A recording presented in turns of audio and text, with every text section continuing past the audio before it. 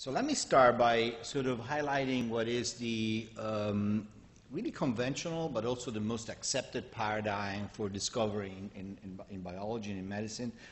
Um, in terms of sort of trying to figure out what are the genetic variants, and maybe either germline or uh, somatic mutation in the case of, uh, of cancer, um, that are associated with a specific phenotypic outcome. And really the vast majority of research that is going on today, and I would say the entire paradigm of precision medicine today, is actually predicated on that arrow that goes from the mutation to the actual phenotypic outcome. For instance, um, you may want to know that if you have a particular mutation, you are more likely than not to uh, develop a particular uh, pathological condition. Um, and so when I, when I talk about putting the word, putting precision in precision medicine, I'm actually going to talk about how we can actually take away that arrow and turn it into a very specific mechanism because that arrow right now is typically a statistical association and doesn't explain how or under what circumstances you actually really induce the phenotype. And so this has been actually quite uh, uh, kind of fundamental in, in elucidating some of the uh, major uh, determinant of disease etiology, in fact, of trait etiology. Um, for instance, in the case of ALS, uh, amyotrophic lateral sclerosis, uh, we know that familial mutation, rare uh, familial mutation in the SOD1 uh, superoxide dismutase gene, uh, have been associated with 100% penetrance in the disease. What is the problem with that? The problem is that as of today, maybe 30 years after the discovery, we still have absolutely no clue of how that particular mutation induces ALS. There are, of course, a lot of people that are working on the problem, but the specific gain of function that the protein superoxide dismutase um, sort of implements due to the mutation is not completely elucidated. Um, as a result, or not necessarily as a result, but certainly as a consequence of the fact that the association is only statistical, we really don't have any kind of therapeutic approach uh, against the disease. In other areas, uh, we've been more lucky. Certainly in many of the uh, what we call rare Mendelian diseases um, that are associated, for instance, with dysfunctions in enzymes, uh, this has been quite effective because enzyme replacement therapy, for instance, in Pompe's disease, has been quite uh, uh, important. Uh, but those are the situations in which the actual mutation affects a endpoint gene or protein, basically, so the actual gene that is performing uh, the corresponding work in the cell, and therefore by replacing that protein, we can actually, or by targeting that protein, we do something about it. In many cases, uh, we will find that diseases are actually all but rare and Mendelian. In fact, they're complex, and the individual mutation really tells very little about the risk and the stratification of the risk. In cancer, uh, it's actually been a little bit ahead of the curve simply because a lot more data has been generated in cancer phenotype.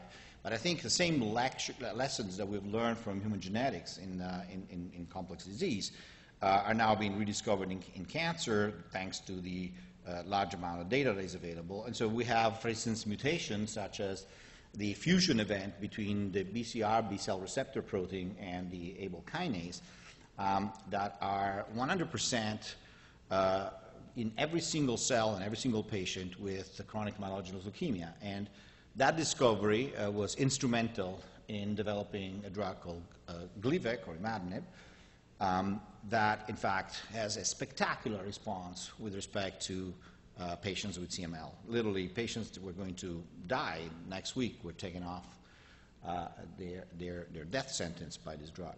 And uh, that, that success has had the potentially um, unwanted consequence of really spurring the entire, or targeting the entire field of precision medicine towards this direction of oncogene addiction. This is the fact that cells, cancer cells that have mutation in oncogenes tend to be addicted to the activity of. So unfortunately, it turns out that CML is more like the exception than the rule. And in fact, you can see right now that as we're starting to sort of drop down and elucidate more and more mutation in cancer, it's becoming increasingly harder to discover mutations that are really truly targetable and that are very high frequency in the population. So for instance, uh, one of the other great successes of, of, targeted therapy has been in breast cancer with amplification and mutation of the HER2 protein, um, which is basically uh, a membrane protein that receives signals and, and generates pro-life and pro-proliferative signals. And, um, and in that case, the introduction of a drug called trastuzumab has been really, again, transformational for patients with that particular type of cancer, which before the introduction of trastuzumab were in fact among the patients that had the most aggressive type of tumors. Okay? Unfortunately, even though 70% of patients treated with trastuzumab respond to the drug and actually this halts progression of the disease, about 70% of the ones that actually respond eventually will relapse to a disease that is no longer responsive to, to trastuzumab and typically has very poor outcome. And things get even worse although some of these have been called great uh, sort of clinical accomplishment, which they are, uh, for instance, in the case of the V600E mutation in BRAF, the BRAF oncogene in, in, melanoma, where, in fact, a very potent, very high affinity inhibitor called vemurafenib has now tremendous response in patients, but unfortunately, this response is not very uh, lasting, and in fact, typically somewhere between three and, and five months virtually all patients treated with vemurafenib will relapse with a uh, BRAF independent version of the tumors that no longer responds to the inhibitor. And in fact, the inhibition of BRAF, uh, for those of you that have actually been at the talk that uh, uh, uh Mariano Barbacid gave yesterday, have other implications because they actually trigger major oncogenic behavior in, in other cells that would actually have dormant mutation in, in KRAS. Um, so this says that as we are starting to walk down, we now maybe profile about 8,000 tumors, uh, and we have now actually have genotypes, maybe uh, 20,000 to 30,000 tumors. Um, and as we're starting to walk down in terms of the frequency of the mutation, we're starting to discover that this is becoming a more lower and lower hanging fruit type of, of mechanism. And so actually not a lot of new targetable oncogenes are emerging and the ones that are emerging almost invariably, including EGFR, ALK, MEK, et cetera, they all lead to uh, resistance after treatment.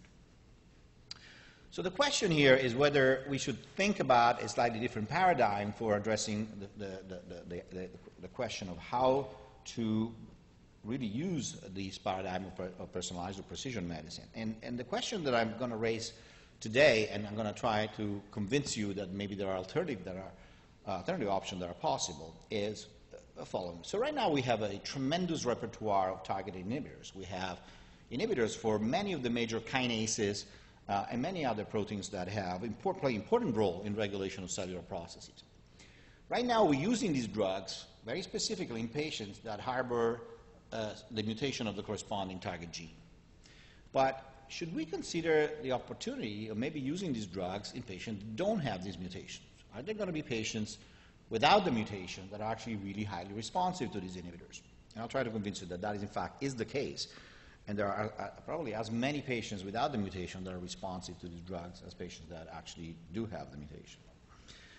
The second thing is that despite the excitement for these uh, discipline, uh, precision medicine, genomic-based precision medicine, the reality is that most tumors, about 75% of the tumors, have no actionable mutation, including, if you include in the, in in in the number of actionable mutation, genes that we don't yet know how to, how to action, pharmacologically, like KRAS, for instance.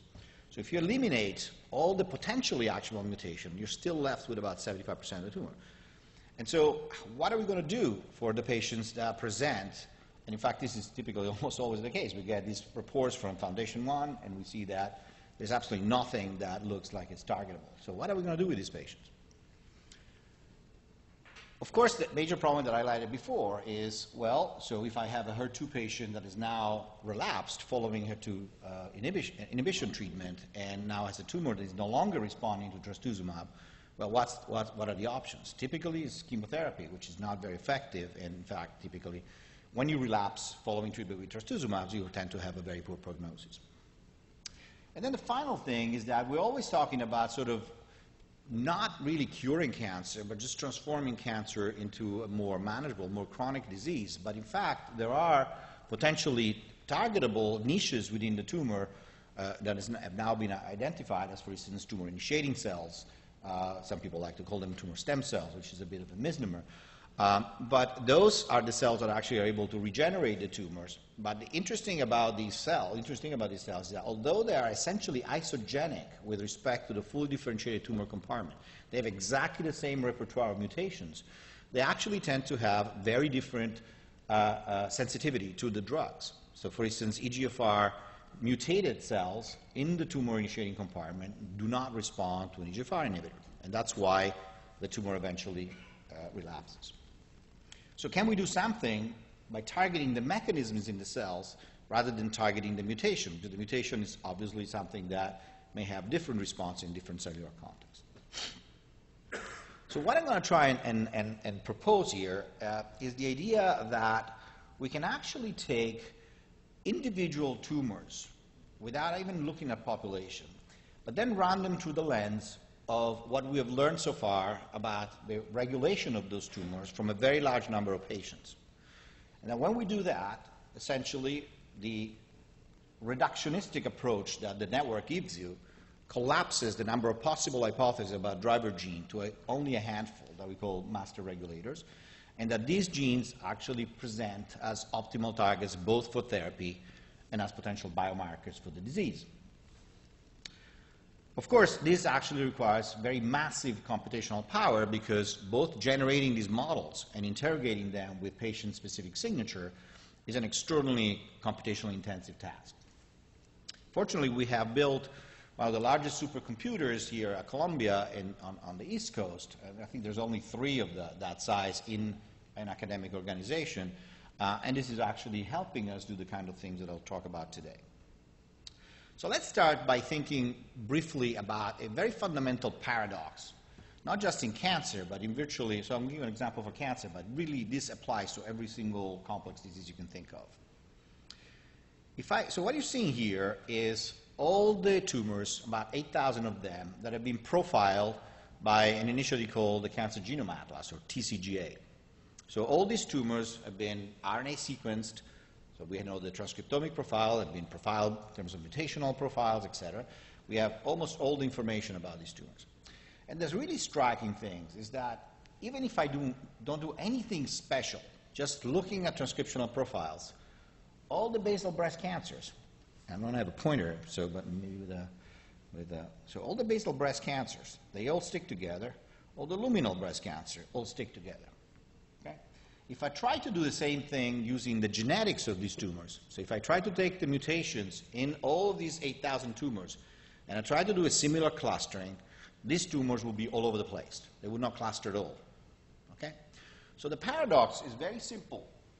How is it possible that something as heterogeneous as the mutational spectrum and landscape of breast, of basal breast cancer or luminal breast cancer, can actually give you a set of, of, of, programs, a set of transcriptional programs that are so close, so similar. Okay? It doesn't make a lot of sense if you think about it.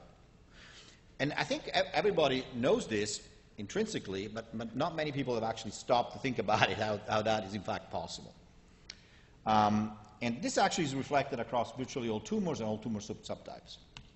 So one possible way to think about it is how can we connect the top half of this diagram where all the genetics patterns are, exist. In fact, one of the reasons, first, in, in, in uh, triple negative breast cancer, which largely overlap with the basal subtype, they're called triple negative because essentially lack any kind of identifiable mutations that distinguish that, that subtype. So no, literally no two patients with a triple negative breast cancer are identical in terms of their mutations. Okay? So how can we reconcile the top half of this diagram where all the mutation lives with the bottom part of the diagram where all the programs that are necessary for tumor maintenance live. Proliferation, uh, uh, abrogation of uh, immunodetection, uh, uh, immortalization, etc. So one possible way that, to think about that, and this is something that really came as the aha moment uh, to really convince us that this was actually possible, uh, was part of a collaboration that my lab and Ricardo Dalla-Favera's lab had, where we started from an observation that was really a serendipitous observation by Lou Staudt uh, at the NCI, that a particular complex, the NF-kappa B complex, in fact the canonical uh, version of that complex, was a dependency in a particular subtype of human lymphoma called the ABC activated B cell subtype of diffuse large B cell lymphoma. And no, was not a dependency in another subtype that was almost identical but less aggressive called the GCB subtype. So this was a serendipitous observation. It means that if you actually silence NF-kappa B in the ABC subtype, these cells die. If you silence NF-kappa B in the GCB subtype, the cells are perfectly fine. Okay? It's what we would call a non-oncogene dependency because NF-kappa B is never mutated in these tumors.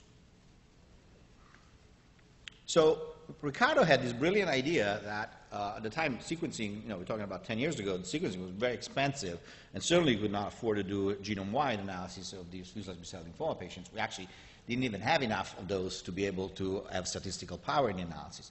So he had a very clever idea that because the immunologists had done a fantastic job of dissecting after Baltimore uh, got the Nobel Prize for discovering NF-kappa all the pathways that were upstream of it, why not we sequence just a handful of genes in those pathways? Okay? It's a very simple, very simple concept. But lo and behold, about a dozen mutations popped up that are actually recurring patients that would have been invisible in any kind of GWAS study, like, for instance, mutation in A20 gene, in CARD11, in MYD88, etc. And then actually Lou, Lou Staudt also pursued that line of, of thinking and discovered the MYD88 was discovered in his lab, etc. So overall, almost a dozen or more than a dozen mutations have been discovered upstream of NF-kappa B. And the really remarkable thing is that every time these cells had one of these mutations, you had dependency on NF-kappa B activity. Anytime you didn't have that mutation, you didn't have dependency. And this didn't even co-segregate perfectly with the ABC and GCB subtype. It was really based on the mutations. Okay? So now you have to ask yourself, is it better to design one drug for A20, one drug for CARD11, one drug for MYD88, one drug for the B cell receptor uh, subunits that are mutated, et cetera? Or is it better to design one drug for the collector, the NF-kappa B protein, which is now acquiring the signals from all these mutated gene upstreams? Okay, and so we thought that maybe the latter was, uh, was a better option, and we're pursuing this because, in fact, as Lou has also shown, many of the reasons why these pathways become activated have not even to do with the mutations. For instance, somebody's B cell actually secrete antigens that bind the BCR receptor because without binding to the BCR receptor, it's not even signaling. So you have to get, you get, have to have signals that come from the environment because otherwise the mutation would act as amplifiers. But if you have no signals at the beginning of the line, you can put out as many amplification you want, but it's not going to do anything. Right?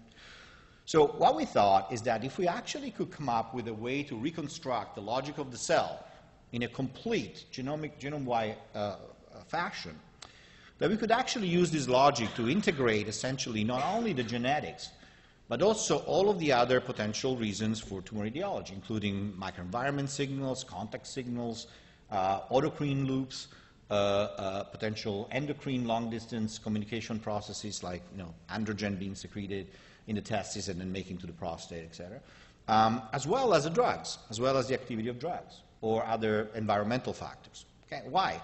Because in the end, the cell is the sensor. And the reason you get cancer is not because at some point some weird combination does something wrong to the cell is because the cell actually has some pathways that are necessary to activate these programs that I showed you before. And when enough of these signals coming from either the genetics or the epigenetics or the environment are sum up on, this, on these uh, pathways, you actually trigger a tumorigenic event. Okay? It's exactly the same thing as in normal human genetics. If you look at height, there's probably 300 genes that have been associated with height. Each one gives you a very small contribution right? But in height, if you have a lot of contribution, you just get taller and taller and taller, or shorter and shorter and shorter. In cancer, you add them up, add them up, and at some point you fall off a cliff.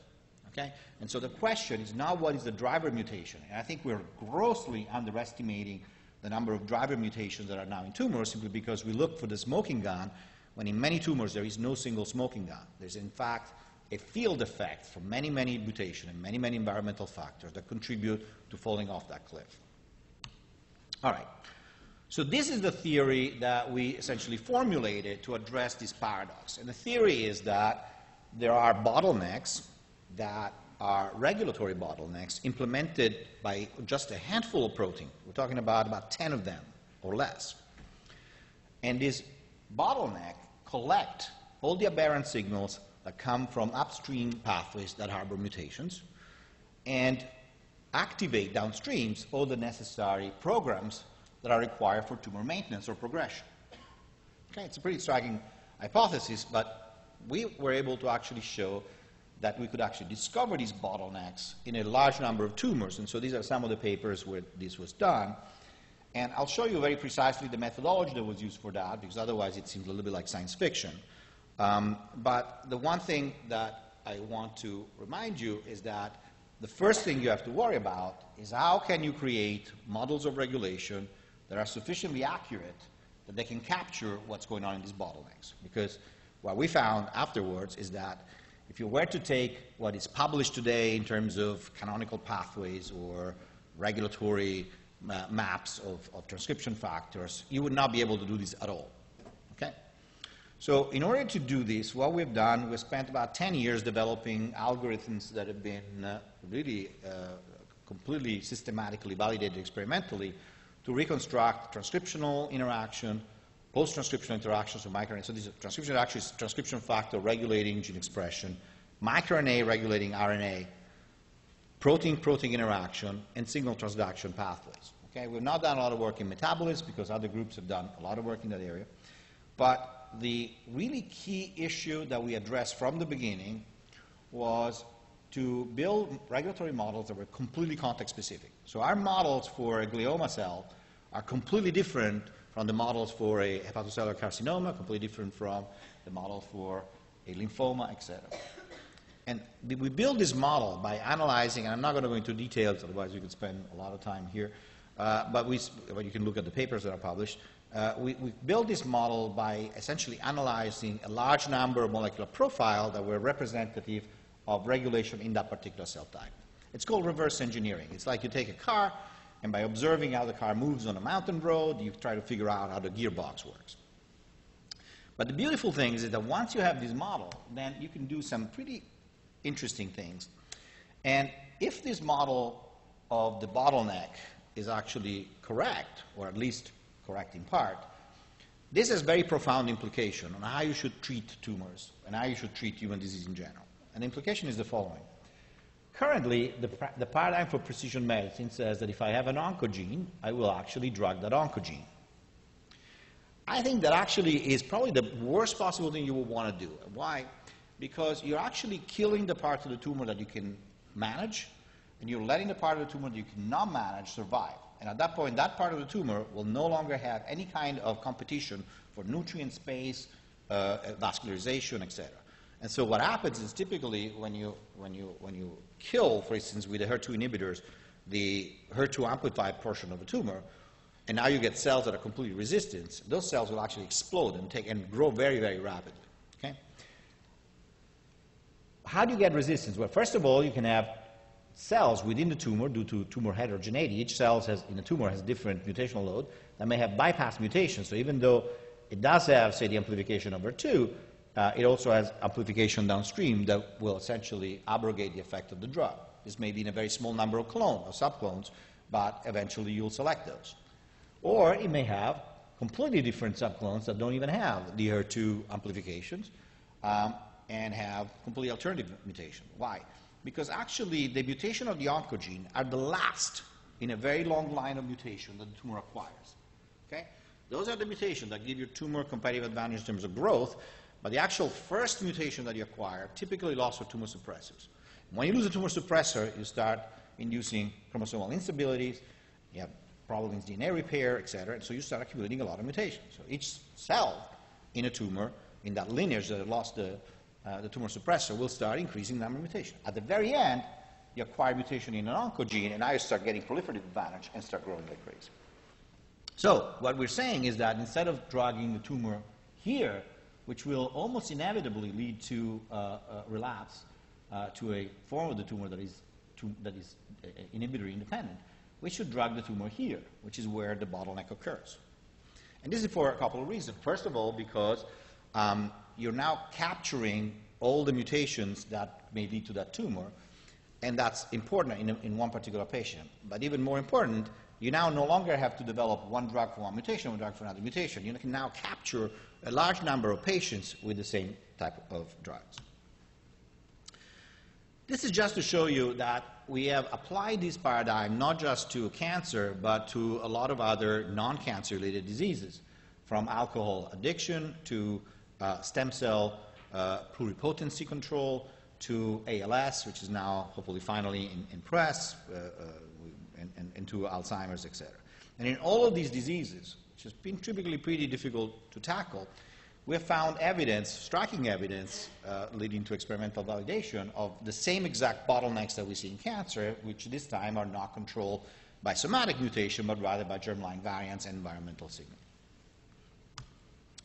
So, why should, how can we find, how can we discover these uh, bottlenecks? I mean, obviously, in the case of diffuse large B-cell lymphoma, we were pretty lucky because there was some kind of serendipitous observation that NF-kappa B was one such uh, dependency. But in most tumors and in most phenotypes, it's actually not one protein, but actually a couple of proteins. And individually, each individual protein does actually nothing for the phenotype. We need two of them or three of them. So how can we find these bottlenecks if we don't really have a way to screen even by loss of function assays? Well, the first thing you have to remember is that mutations don't actually do anything. Mutation is just sitting in the genome. It's a template for something that is going to be produced as a gene product. And so what that's something in a cell is either the RNAs that are regulatory or the proteins, most typically the proteins. And so the thing that we really have to worry about is not that much whether you have a mutation or not, but whether you have a aberrant activity of the corresponding protein or not. So if we had machines that could actually measure the activity of every protein in the human body, uh, or in a particular cell type, that would be the ideal way to do the targeted therapy because you could actually immediately figure out what works and what's not working, what works over you know, in, a way that is not uh, uh, physiological. But unfortunately, uh, measuring protein activity is extremely complicated. In fact, I don't think there is an assay that can measure protein activity directly because protein activity is the sum of many, many events, including the translation from the RNA, the actual post-transcriptional modification of the proteins at multiple sites that we have not yet figured out that will necessarily contribute to the activity, and very different type of, uh, from SUMOylation, acetylation, uh, uh, uh, phosphorylation, etc., to its translocation to the specific cellular compartment where that protein is active, to the formation of specific complexes that are necessary for regulation. So now, you may measure the abundance of a protein and think that that's its activity, but it's actually not. For instance, you can have a ton of STAT3, but if it's not phosphorylated, it will not work. You can have a ton of MYC, but if MAX is not there, it's not going to bind the DNA. And so measuring protein activity is actually very hard. So what we decided to do is to see whether we could use the regulatory networks to actually precisely measure, infer protein activity in the cell. How do we do this? Well, so here is a representation of one of our networks. Okay, so these are just representing four proteins for, for the sake of simplicity. And what the networks does for you, it associates every protein in the cell, whether transcriptional regulator or not, signal transduction as well, to a set of transcriptional targets that represent its footprint, its transcriptional footprints. Okay? So this is the equivalent of what you normally do in the lab when you build a gene reporter assay. Now, if you want to report a MYC activity, you'll take a TERT promoter, stick it in front of a luciferase, and now if MYC is no longer working, your, your reporter will go down. If MYC is working over time, and your, your luciferase will go up. What's the problem with that approach? Well, first of all, that TERT promoters are not regulated just by MYC. They're regulated by a lot of different things. And so if you try to very specifically figure out whether MYC is activated or not, that's really not a good idea. The second thing is that MYC actually regulates things that are not regulated through the canonical max MYC binding, but in fact regulates, represses through uh, uh, complexing with MIZ1. So how do we really measure the activity of MYC? in this case, will be by building the reported, a multiplex gene reported assays that includes all the targets, all the transcriptional targets of MYC, both the repressed one and the activated ones, and uses the expression of those targets to infer whether MYC is active. And that reporter, because it's multiplex, is going to be very, very specific for every specific protein that we have. So each protein has a different set of targets in our, in our network. Very few proteins have exactly the same targets. In fact, almost none. And therefore, we can build gene, multiplex gene reporter assays for virtually every protein in the cell. And then what we can do is we can basically ask a very simple question. We can ask not only whether the protein is activated, but whether its activity is specifically affecting the signature that are associated with the hallmarks of cancer. Okay? So for instance, this is actual real data that I'm showing here. Um, So you can see here all the genes from the one that is most downregulated to the one that is most upregulated in a particular phenotype, let's say tumor initiation, prostate cancer initiation. What you're seeing as, as uh, red bars are the actual targets that in our network have been associated with these regulators that are positively regulated. And when you see as blue bars, these are the targets that are repressed by that regulator. And so you immediately see just by eye that all the positively regulated targets are all overexpressed and all the repressed targets are all underexpressed. So this indicates that not only that protein is highly activated in this transition, so it goes from not being active to being very active, but also that its activation regulates specifically the signature of the tumor. Okay? This second protein here has the exact opposite pattern. All the positive targets are, are downregulated, all the repressed targets are overexpressed. This means that this protein has lost activity because now you have completely inverted its pattern of activation. And this protein here essentially has had no change because its target is just not differentially expressed. Okay? So this allows us to uh, not only get very precise indication, but actually get indication from one single profile. So what this shows is we, what we did here is we have different versions of the algorithm that are better and better and better when we measure the accuracy and the specificity. And in this case, we actually are collecting all the samples, six samples in which we have silenced six different transcription factor, uh, anyway, from STAT3 to, to, uh, to, to FOXM1, etc. And now we're showing how the algorithm can actually identify those transcription factor among the most likely protein that have been uh, abrogated, those activity has been abrogated. And in fact, the best version of the algorithm, which is the one that we now call VIPER, uh, of virtual proteomics actually predicted the silence gene as number one, number one, number one, number two, and two, uh, uh, sorry, two as number two and one as number three. So really at the very top of the predictions. So instead of having this bioinformatics list where you have 500 genes that differentially express, you don't really know, uh, and now you do another experiment and the list maybe has 10% overlap, you don't know. In this case, every single time you do this experiment, you get exactly the same top master regulators, and they are predictably the one that you have actually inactivated. But what this graph on the right shows is that you can do this from single assays and you get even more specificity. And the reason you get more specificity is because when you go across multiple cells and you, and you average the signature together, you actually are diluting. You, you're basically, the heterogeneity of the cell works against you. If you do the analysis on a cell-by-cell basis, and I'll show you these results later on, you actually get even cleaner results. So this is the first time. That's why we don't like statistics because, you say, if you have to use statistics, you have to design better experiment. In this case, you just need one experiment. And that's the fundamental basis for what we call the N of 1 clinical trials that I'll discuss later on. So this is particularly useful to understand what are the targets and the effectors of drugs. Why? Because we now have these multiplex gene expression assays for every single protein in the cell, well, about 6,000 of them that have regulatory function. And now we can ask, before and after we introduce the drug in that particular cellular context, did we observe a change in that reporter assay? And in this case, what this shows is that if you put fulvestrant, tamoxifen, or clomiphene, that probably many of you know are estrogen receptor inhibitors, you actually, when you have the higher dosage, you have spectacular inhibition of the estrogen receptor activity as predicted from its targets. None of these compounds produces any differential expression of the estrogen receptor activity. Zero. It would not be detected. Why? Because these compounds are post-translationally active. They bind to the protein. They don't bind. They not, no effect on the RNA. And this shows that if you actually do the same with sirolimus, which is an mTOR FKBP1A inhibitor, you get exactly the same result. So this is a post-translationally acting protein. And we essentially do this for every kinase, every... So this now gives us uh, a very precise way to infer mechanism of action of drugs. And what we can do is match that mechanism of action of drugs from perturbation with drugs to the mechanism of action of the tumor and see what drug will hit the tumor. So what are some of the properties of this approach? Um, one of the things that you may ask is why has gene expression never been used as a good clinical parameter for, uh, for some diagnosis or prognosis or for drug therapy? Why are we using genetics today? Well, the reason is that if you measure gene expression, there's tremendous variability. It's all over the place. So on average, on a population, it may look like it's very predictive, but that's only because you're averaging over many, many patients, right?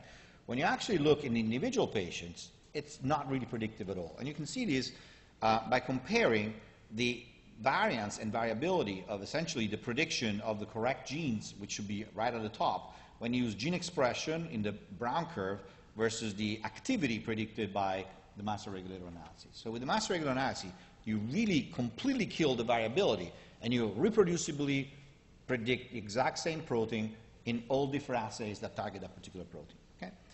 And we were able to, to show that, in fact, you get optimal behavior when you have about 50 targets in your regulatory network for the protein. So what we do now is that if you have 1,000 targets, we start removing the targets of which that we are less certain on until we get to about 50 that are the most precisely uh, predicted targets of that protein, and that gives us the optimal assay.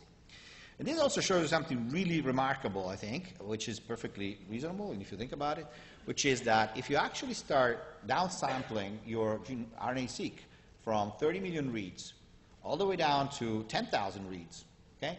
If you look at the ability of gene expression to be produce the same correlation between two samples, I'm taking a sample of 30 million and a sample of 2 million, a sample of 30 million, a sample of 10,000, and I'm asking, do I see this, the, a strong correlation between the expression of the genes? That degrades very dramatically. Okay? So you lose, uh, you lose quality, you lose uh, ability to predict. But if you actually predict the master regulator, if you actually do this analysis in terms of activity, or predicted activity, using this gene reporter assay, there is essentially no degradation in performance until you hit about 500,000 reads, and then it degrades quite gracefully. And so even with 100,000 reads, you can actually have pretty much the same exact top master regulators predicted by the algorithm. This is very important because actually this was the key for developing a technology that we call PlateSeq that was developed by Peter Sims that can now do RNA-seq for $12, about 2 million reads, and gives us exactly the same result that we get from 30 million. So we can now profile a vast repertoire of small molecule that can then be tackled to a very specific problem, whether it is a neurodegenerative disease or cancer. Okay, so let's ask question number one. Question number one was, we have a lot of targeted inhibitors, and we probably don't know what to do with them because we're only using them to target patients that have a specific mutation in those genes. So the question is, could we target patients that actually have no mutation in the gene but are likely to respond to the drug? So what I'm showing here is for every tumor type that we have, and I'm, I'm showing you a small number of them, and for every tar targetable gene or even potentially targetable gene like KRAS, we have ranked all the patients in TCGA, so there's about, you know, 500 patients for glioma, 1,000 patients for breast cancer, etc. We have ranked all the patients based on our predicted activity of that corresponding protein in that particular sample. And so you have samples here that have very low activity, sort of lower than average. This is average, and these are samples that have much higher activity. Okay? We, that, we, we did not use the mutational data at all in this analysis. Okay? This is purely based on the reported assays as I've described it. What you see, however, is that all the patients with the mutation stratify with the samples that have the highest activity. Those are the, the green bars. So a couple of things. If you have a patient that has a mutation but is predicted to have very low activity of EGFR, I'm pretty sure it's not going to respond to EGFR. I'm actually going to show you it doesn't. Uh, if you have a patient that doesn't have the mutation and has a very, very high activity of EGFR, in fact, higher than patients that have mutations, then that patient probably should respond to EGFR. Okay? And you can do this across every single targetable gene. You can do this across every single mutation for which you have at least four samples in TCGA. So here you can, can see that mutation in BRAF, you can even read them, but for instance, the, the, the, the P40 uh, 403F uh, mutation uh, has absolutely no effect on the activity of BRAF, while the V600E has a very profound effect. So this tells you which patient may have mutation in a gene, maybe actually in the low, in the low bar, simply because it's not hitting the spot that induces the gain of function. So how do we know that this works? Because we've actually taken a very large repertoire called the, cell line, uh, the Cancer Cell Line Encyclopedia, which is about what, 1,000 cell lines, but of which about 400 have been profiled against about 350 inhibitors. Okay? And so we know exactly which one of these cells are the most responsive, which are the ones above this, this, this, this dotted line, versus the ones that are non-responsive, which are the one below the solid line. Now, the first thing you can look is now I'm reporting, I'm showing you all, this, all the cell lines in lung cancer cell lines, so these are only lung cancer lines, that have EGFR mutation as a large circle green dot. And as you can see, there's almost as many of the green dots below the line as there are above the line.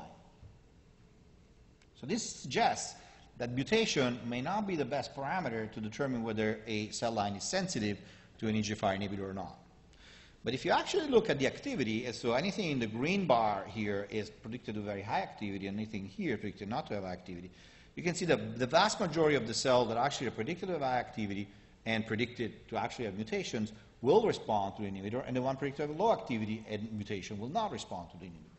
In fact, the p-values here, if you only use the mutation, is significant, but it's not that great. The p-value, if you use the actual only the activity predicted, is actually quite spectacular, 10 to the minus 6. Right? So you can do a pretty good job of prioritizing who will respond to inhibitor by using only the predicted activity. And our networks still suck. You know, they're not yet ideal, so this can only improve as we learn from more samples how this, this, this, profile works.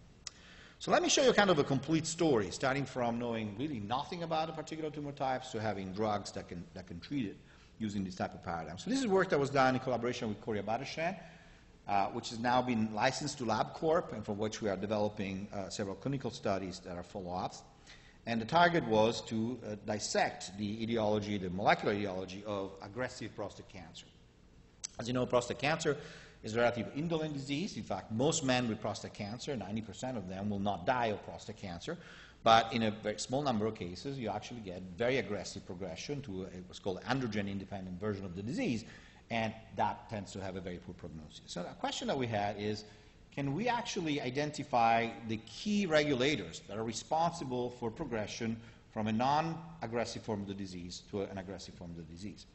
And we decided to do this because Cory has significant strength in, in mouse models, both using human data and using mouse data. For the human data, we could use a very large collection of tumors that were harvested by, from patients at biopsies um, that was collected by the late Bill Gerald at Memorial Sloan Kettering and then published by Charles Sawyer.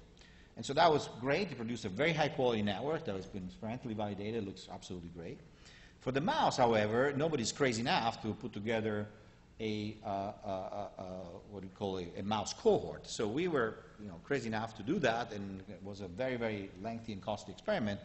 Uh, but it was really actually instrumental in these, obtaining these results. And so how do we do the, that? So Cory and, and, and I work with the community to collect essentially 13 different mouse model of prostate cancer, including five that were very aggressive, others that were just normal epithelium, uh, preneoplastic lesion, frank adenocarcinoma, and metastatic carcinoma.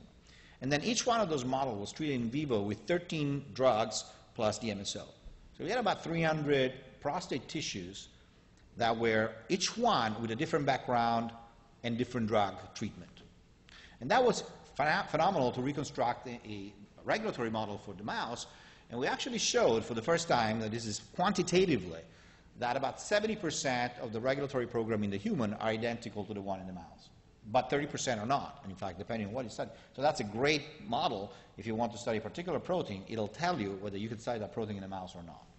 But more importantly, it led to the discovery of seven master regulators that were identically conserved between the mouse and the human. So these are, these are genes that are uh, underexpressed in the aggressive prostate cancer and overexpressed versus overexpressed in aggressive prostate cancer. The red bars are the positive targets of this protein. Uh, the blue bars are the repressed targets. And you can see again the stratification. Okay? Note these numbers here, which are very small, you can't read them.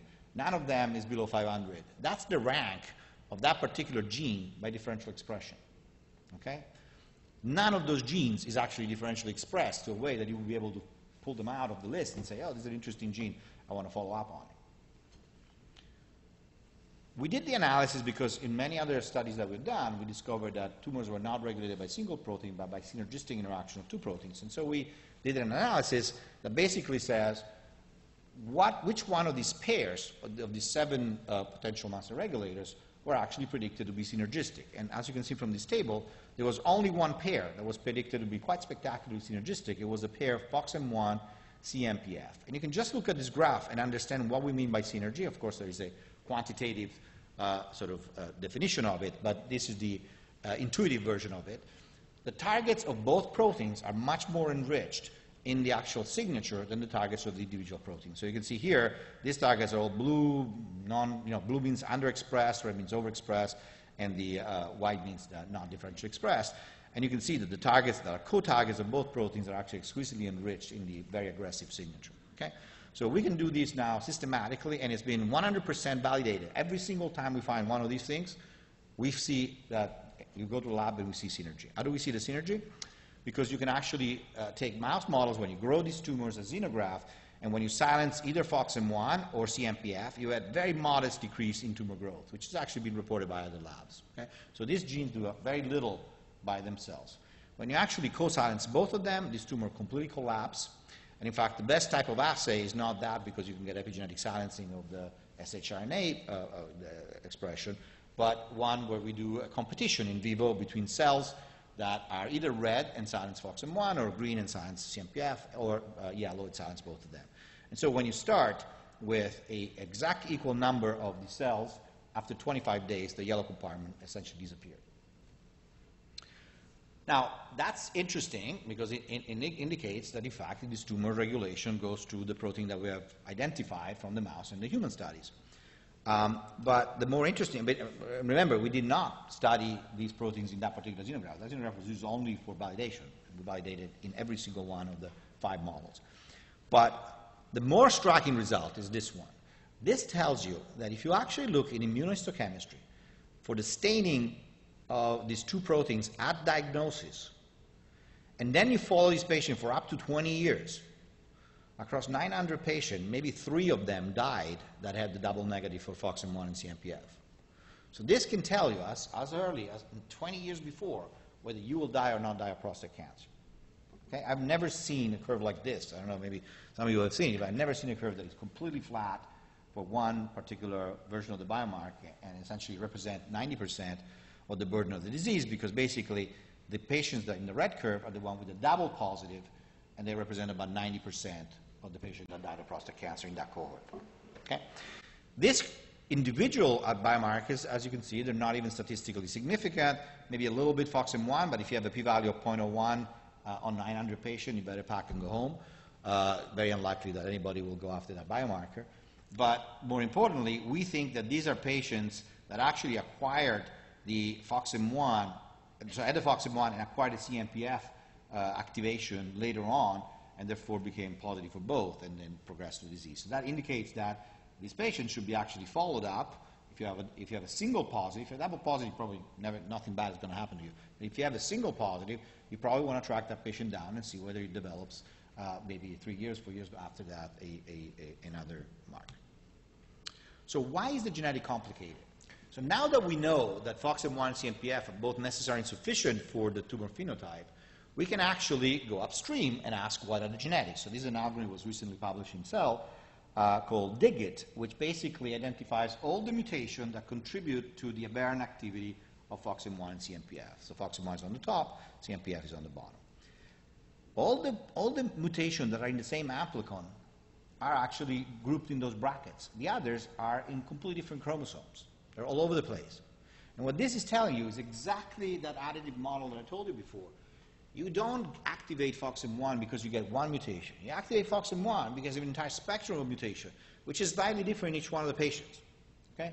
And so it's very difficult to develop a classifier based on the genetics because you have to figure out all the possible things that could happen. And probably many of them we cannot even map because they're exclusively, exquisitely uh, private to that particular patient.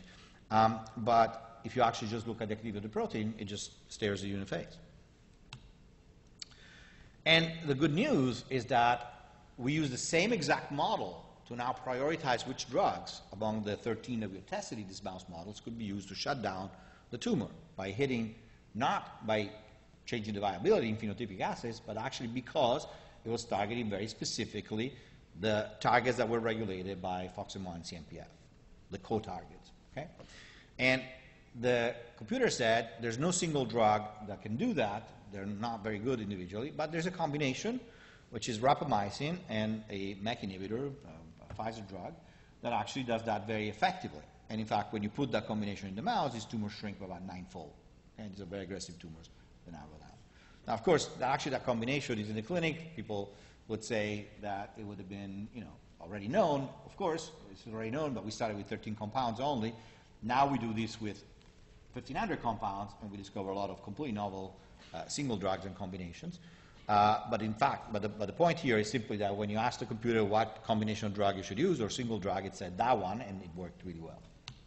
So this paper is basically accepted as Cell Reports and should be seen frequently. So, so a couple of other examples. This is exactly another bottleneck where we showed with Adolfo Ferrando that in patients that relapse following glucocorticoid treatment in T-ALL, which essentially cures 70% of the patients, the, the key master regulator is, is AKT1. It was one of nine proteins that have been identified by the algorithm. Three of them validated, one of them was AKT1. And AKT1 actually phosphorylates the glucocorticoid receptor at serine 134 and prevents its translocation to the nucleus. So you can put as much glucocorticoid as you want in these patients. It's, it's inactivated, right? And you should notice that AKT1 is downstream from a gazillion different mutations in the AKT pathway, PTEN pathway, PI3 kinase pathway, mTOR pathways. And so doesn't matter where you have those mutations, if it increases the activity of AKT1, you will get resistance. But if you actually abrogate the activity of AKT1 directly with the drug, in this case MK06, um, you see that there is dramatic rescuing of sensitivity to glucocorticoid receptor. These are in, in, transplants from patients that were sensitive. This is a clinical trial that is now enrolling patients in breast cancer that are resistant to trastuzumab, uh, so HER2-positive breast tumors, and this was due the work, collaborative work between my lab and Jose Silva's lab, where we identified STAT3 as the master regulator of resistance. And this is because downstream of STAT3, you have IL-6, which gets secreted, activates the IL-6 receptor, just that cascade. Now you have this vicious loop that keeps going even if you shut down the signal on ERBB2. Okay? So if you actually use uh, each one of these two drugs in isolation, they have very little effect. These tumors continue to grow. If you actually use the combination, there are profound effect, and this tumor melts. And so this was very convincing data in several models, and uh, it led to the approval of this study. So a couple of saying glioma, the same thing. We had published C/EBP beta, C/EBP delta, and, and STAT3 as the synergistic master regulators. And in fact, silencing any of these proteins does absolutely nothing. Uh, but silencing C/EBP beta and STAT3 or C/EBP delta and STAT3 actually completely abrogates tumorigenesis in vivo. Only one animal out of 12 had any tumor, and that animal did not have a glioma because uh, you can see from human vimentin staining, uh, there's no migration of these cells in a nearby tissue, which is the hallmark of these, of these tumors. Uh, and instead, silencing the individual proteins had no, basically no effect. Uh, interestingly enough, co-ectopic expression of these two proteins reprograms neural stem cells into a mesenchymal phenotype, mesenchymal lineage. And the same genes actually were rediscovered by the people that transformed the fibroblast into neurons, okay? so except in the, in the opposite direction. So when I was telling you that this approach is actually very robust and very insensitive to noise, I told you that in, in single experiments, so you take a single profile, this will actually reproducibly generate the same result. But what about single cell? So these are 85 cells from one human glioma. Actually, no, this is a mouse model of glioma that were isolated. And when we did the analysis on the RNA of these cells, which is only 2 million reads, so it's very, very noisy, you can actually see that two-thirds of them have exactly the same master regulators that we published for the proneural subtypes, and one-third have exactly the same master regulators that we published for the uh, mesenchymal subtype. So within one tumor, you are now representing two completely different versions of the tumor. And these are isogenic. They have the same mutational backload. This is pure plasticity, where the tumor can move between the two states. And so you're just more likely to be in one than the other if you have certain mutation, but you will still have both. And so now, this is very important in precision medicine because now you know that in order to treat patient with glioma, you have to figure out how to treat both of these tumors simultaneously in the same patient. Or maybe force the tumor into one of the two compartments and then kill it in that compartment. All right. So I told you everything about how we find these biomarkers. Now I'm going to spend a little bit of time uh, to finish this, this, presentation on how we can find the actual drugs. And so basically the idea is that we can take drug signatures, run them through the same exact regulatory model, and then figure out what are the target inhibitors that will abrogate the dependencies of these tumors. So the way we do this is by taking a large repertoire of FDA-approved and experimental compound, typically about 2,000 of them, and then, because we can now do RNA-seq for $12, we can now afford to do for each drug multi-time points, so 6 hours, 12 hours, and 24 hours, and multi-concentration, the IC20, so the two sublethal concentration, one and one-tenth of the other, and in replicate.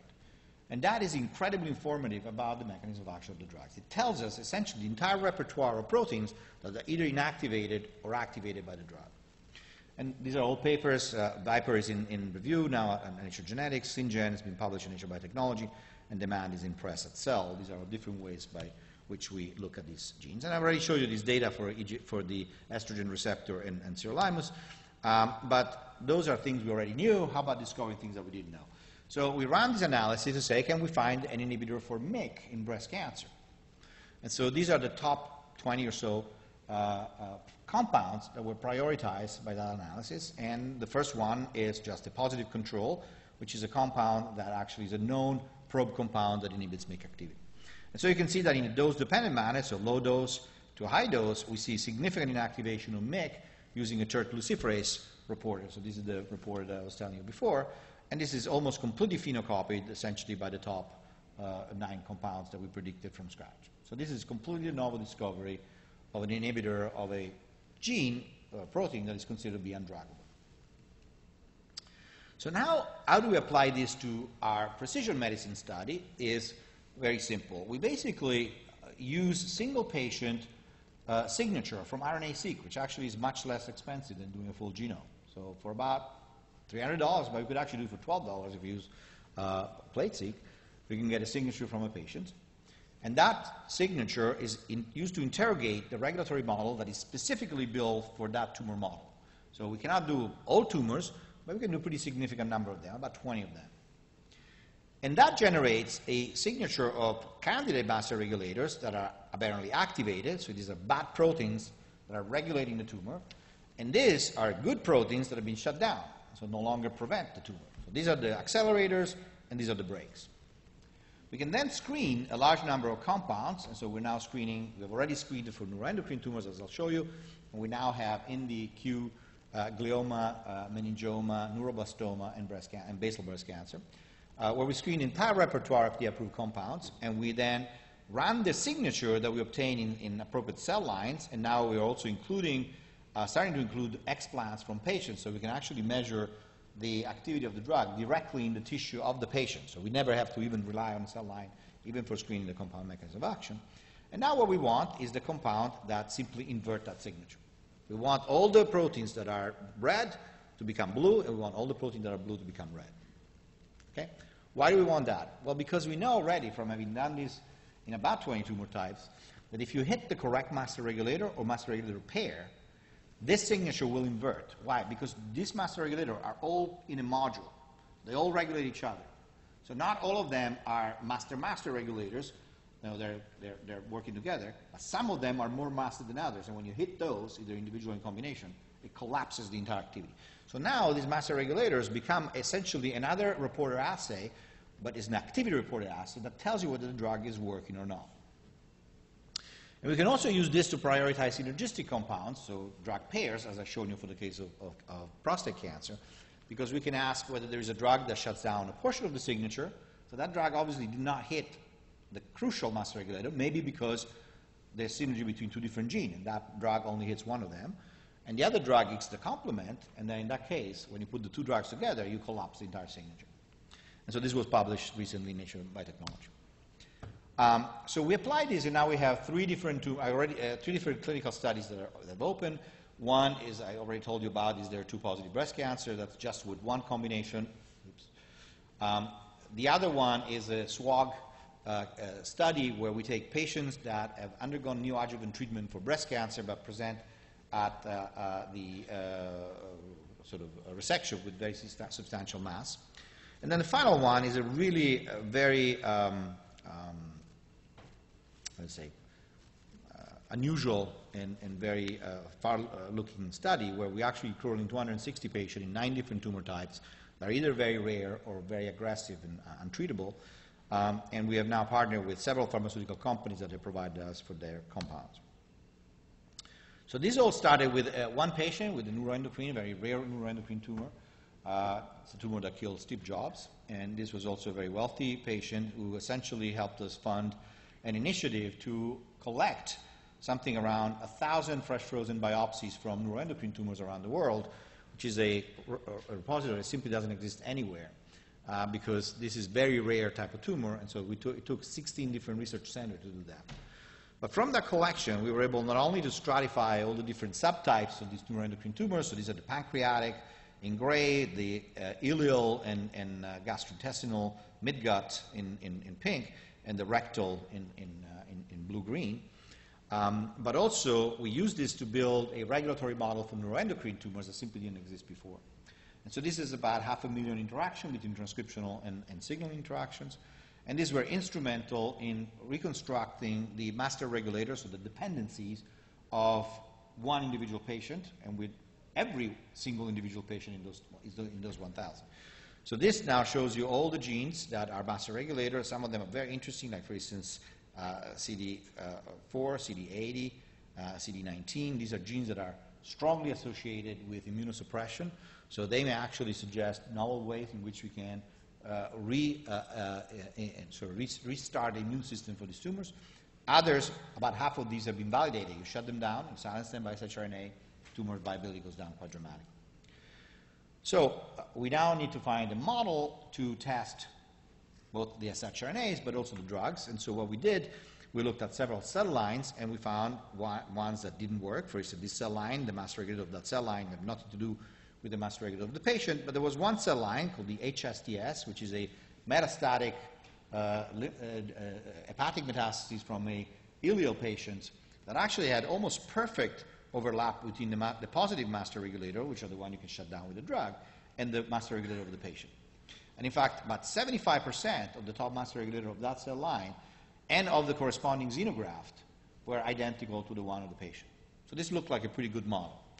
So what we did is we worked with Stuart Schreiber at the Broad Institute and screened a large number of compounds to identify the ones that were more specific, even slightly more specific, to the neuroendocrine lines versus all other tumors.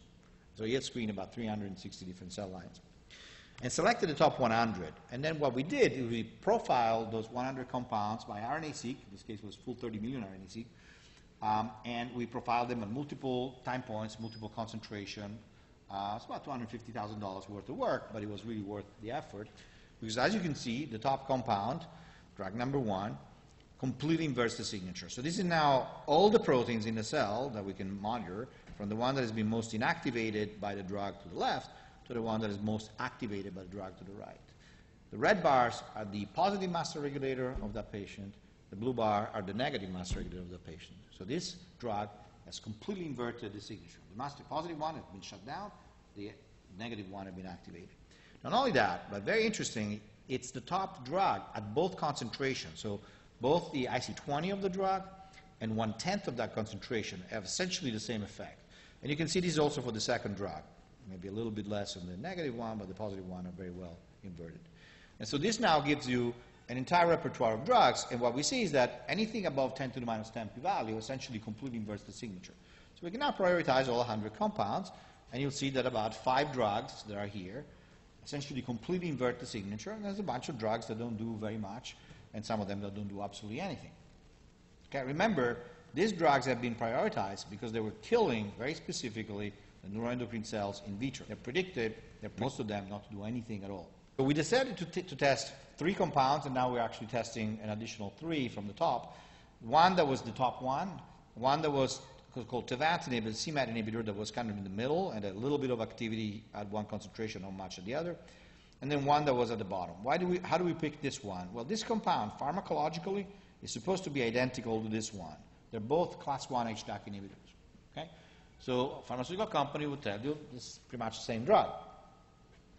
When you put these drugs in a mouse, the one at the bottom had absolutely no effect. It grew exactly the same in the mouse as if you had put DMSO.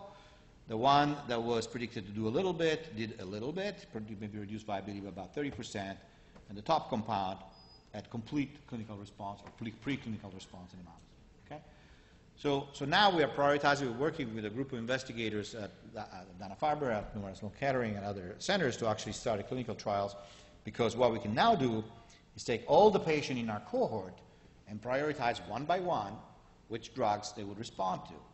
And because we're prioritizing our drugs by the bottlenecks, which are incredibly well conserved across this patient, you can see that all these patients, 19 patients, the vast majority of them, are sensitive to exactly the same set of drugs.